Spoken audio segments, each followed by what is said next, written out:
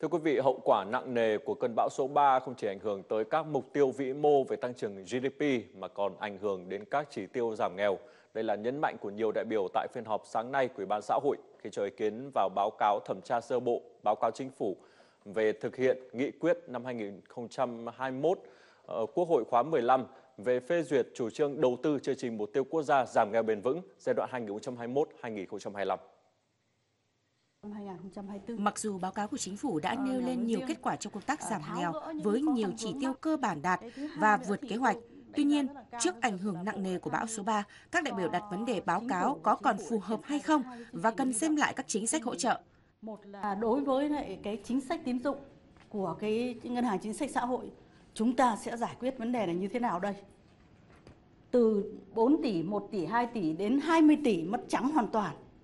Có vay vốn của ngân hàng chính sách xã hội không? Vấn đề này đặt ra giải quyết thế nào có cần phải đặt ra báo cáo thường vụ quốc hội và có giải pháp không? tôi nghĩ cũng cần phải có cần phải nghiên cứu rồi hàng bao nhiêu cái hecta uh, trồng cây cây lân vân phát triển nông nghiệp phát triển sản xuất của bà con không còn nữa thì chúng ta đặt ra vấn đề này như thế nào để đảm bảo tính bền vững của chương trình mục tiêu quốc gia giảm nghèo, các đại biểu đề nghị cần quan tâm đến các chính sách ứng phó sau bão lũ, cũng như việc kéo dài các chính sách cho các đối tượng, địa bàn sau khi thoát khỏi xã đặc biệt khó khăn.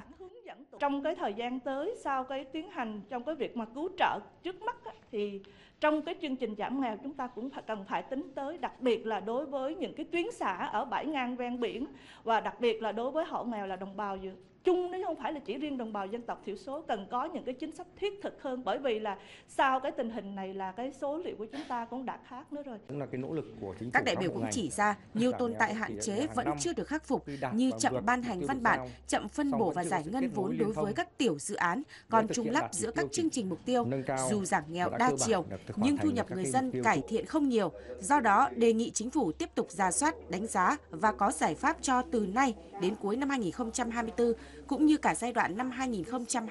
2021-2025.